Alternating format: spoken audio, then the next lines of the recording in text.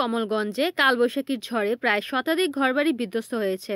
এছাড়া গাছপালা উপড়ে পড়েছে, বিভিন্ন স্থানে বিদ্যুতের খুঁটি ভেঙেছে এবং তার ছিঁড়ে গেছে। শুক্রবার দিবাগত রাত তিনটার দিকে এই কালবৈশাখী ঝড় বয়ে যায়। একই সাথে শিলাবৃষ্টির তাণ্ডব।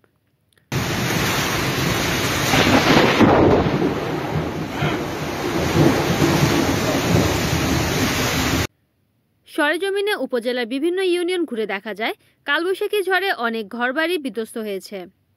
গাছ বাঁশ ঘরের উপরে পড়েছে।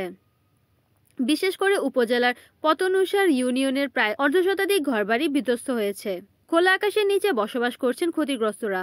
এছাড়া উপজেলার অন্যান্য ইউনিয়ন মিলে প্রায় শতাধিক ঘরবাড়ি বিধ্বস্ত হয়েছে। তারা এখন এই পরিস্থিতিতে মানবেতর জীবনযাপন করছেন।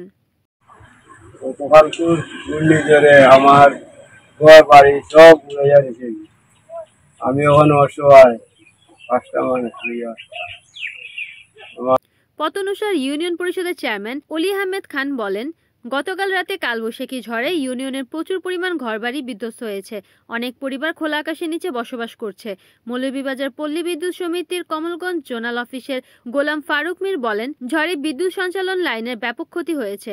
গতকাল রাত্রে কালবৈশাখীর জোরে দুই নম্বর পতনসার ইউনিয়নে পঞ্চাশটিরও অধিক বাড়িঘর বিধ্বস্ত হয়েছে।